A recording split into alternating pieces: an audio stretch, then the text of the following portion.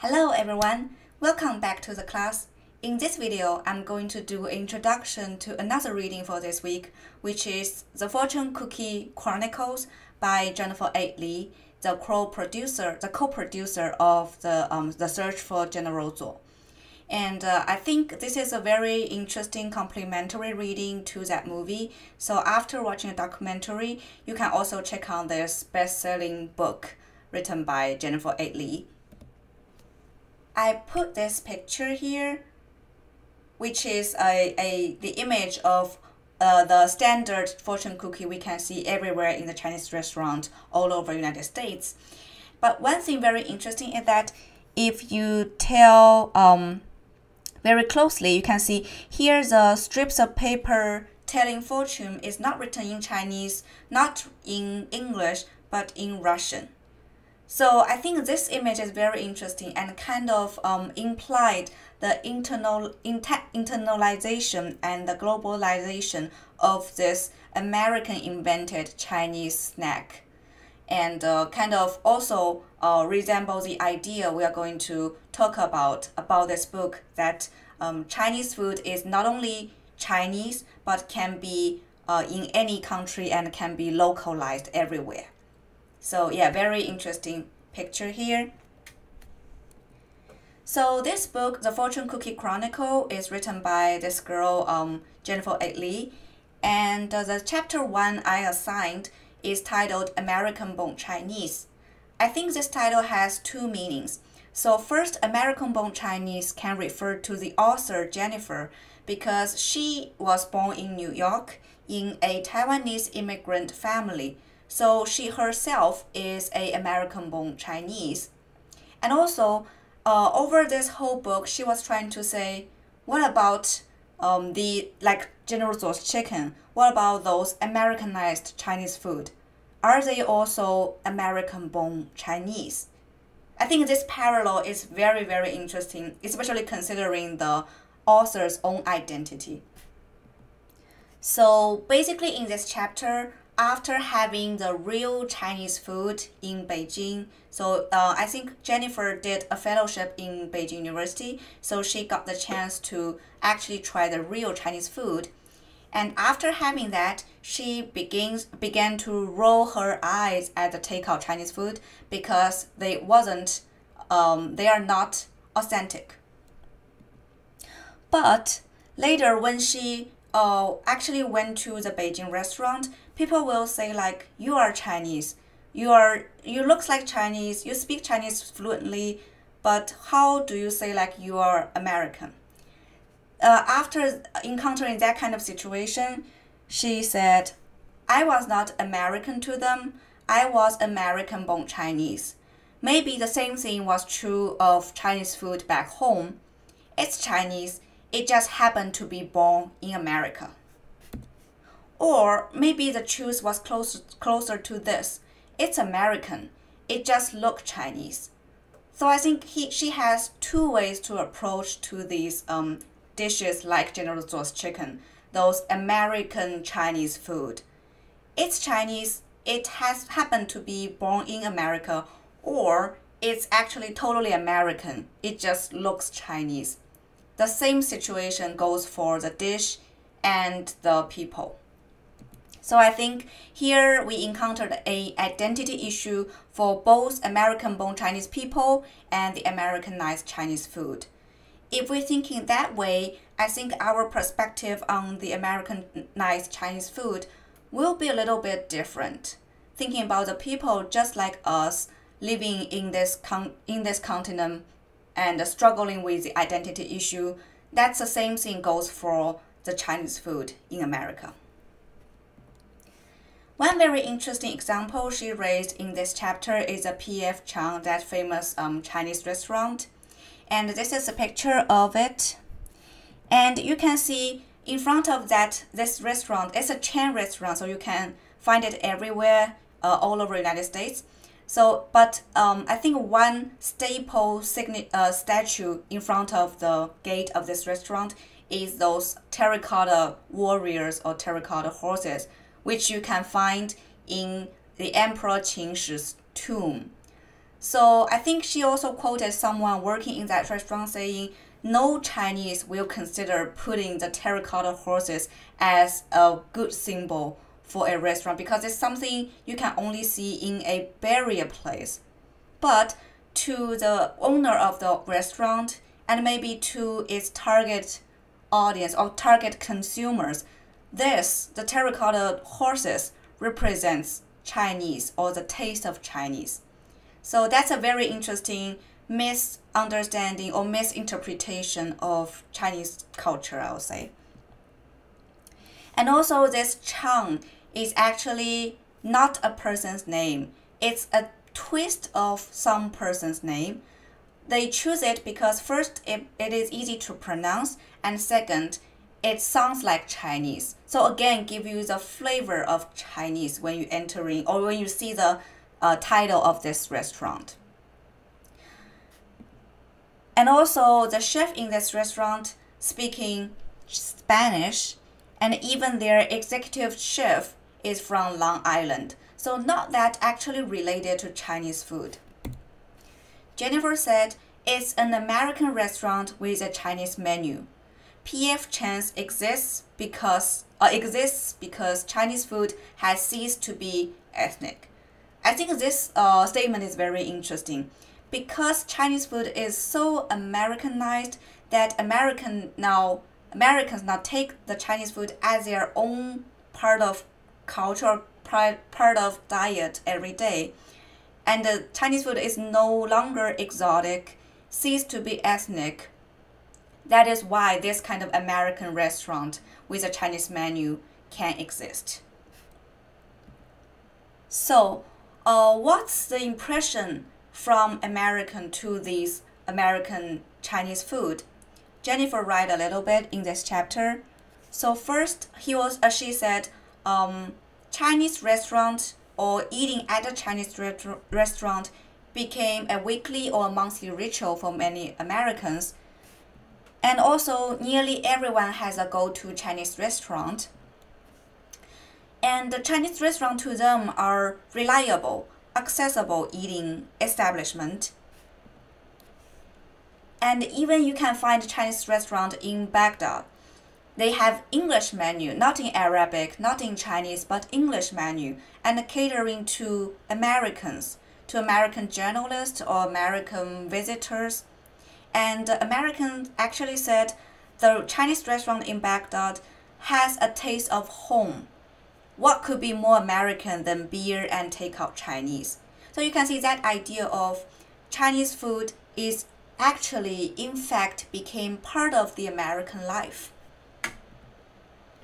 And also, I heard from some of the individual talk with uh, your classmates, Chinese food became a symbol for comfort food something predictable and familiar when uh, Americans or when people need an anchor in a explosion of uncertainty.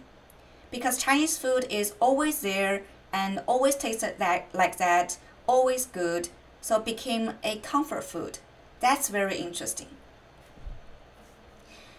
And also, um, I think Jennifer made this kind of um, uh, conclusion like Chinese food has united so many different people from different parts of the country. Or I will say we can expand this conclusion a little bit.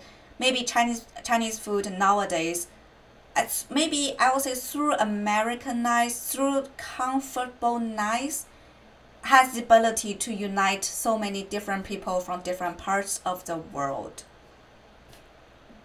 Then let's take a look at the meaning or the culture behind the food. So if we say Chinese food always has a meaning, what could be the meaning behind this American-born Chinese food? So first thing Jennifer mentioned is that the Chinese food begged to be mixed together.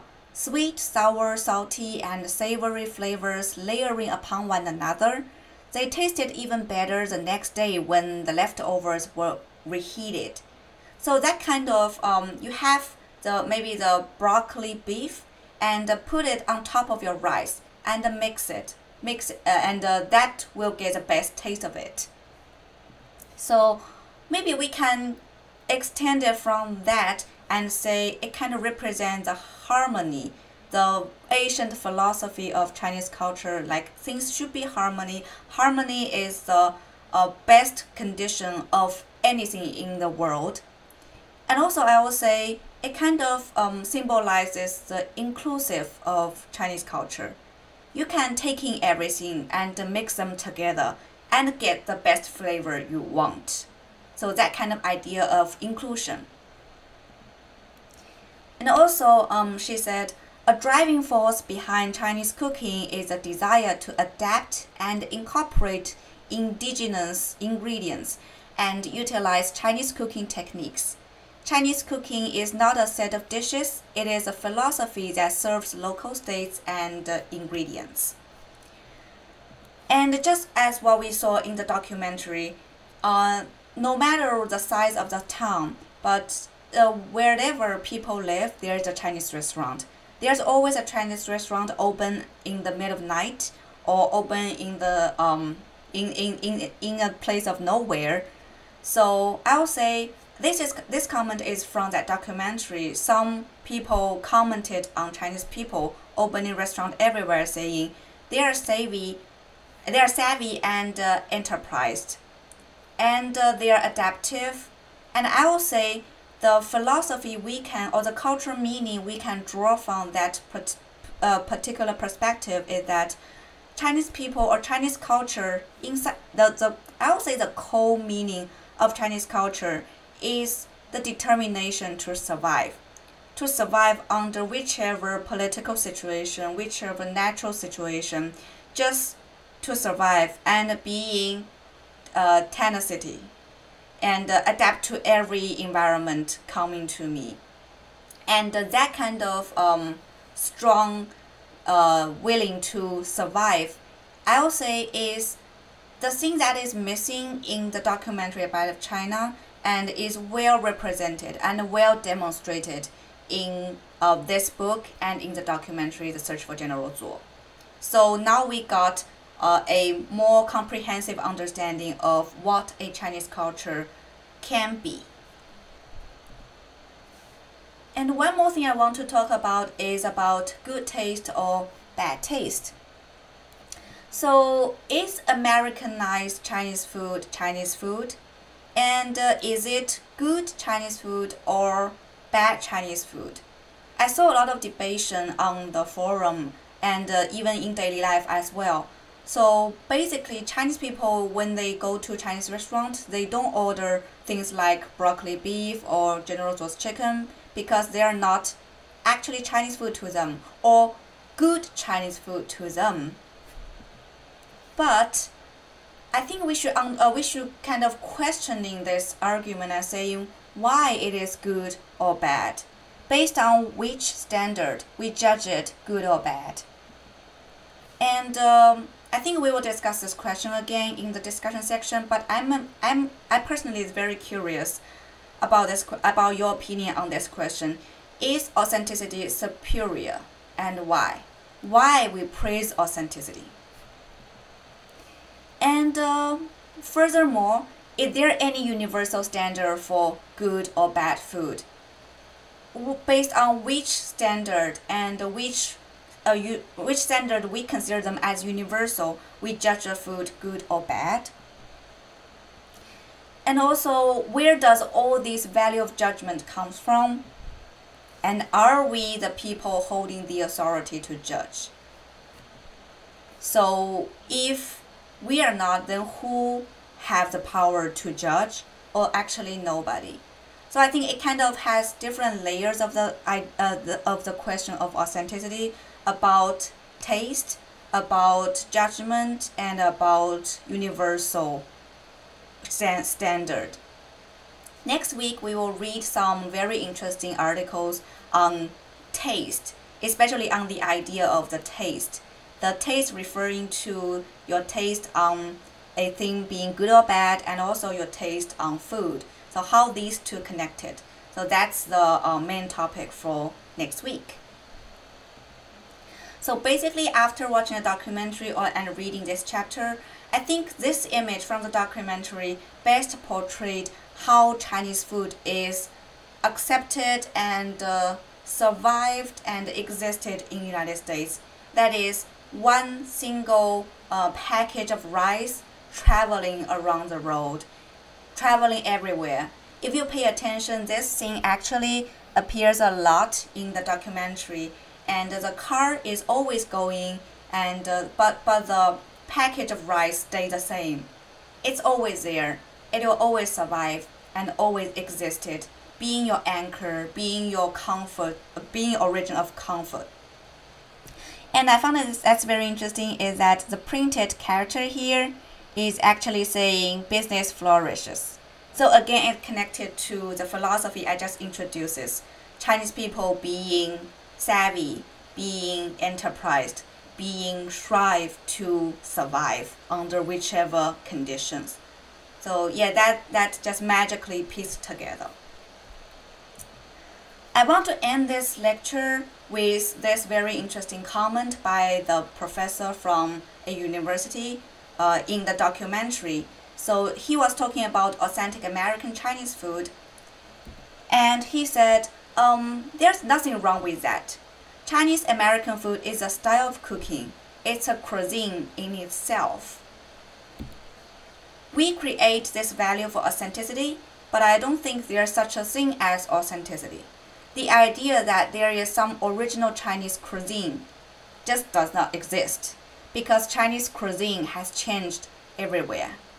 I think this idea is very interesting and worth discussing. So, authenticity is not one stable, static idea always there.